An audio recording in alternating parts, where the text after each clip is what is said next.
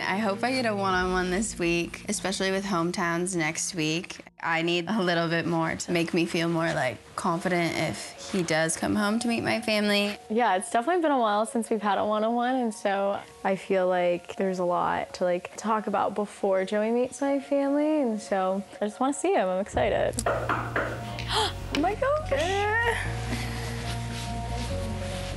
I don't know why. I'm like literally like my heart's racing.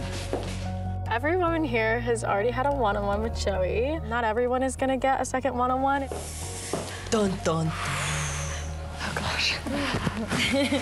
I think that validation, that reassurance that he does want to keep spending time with you and really get to that next level, it, it would mean everything.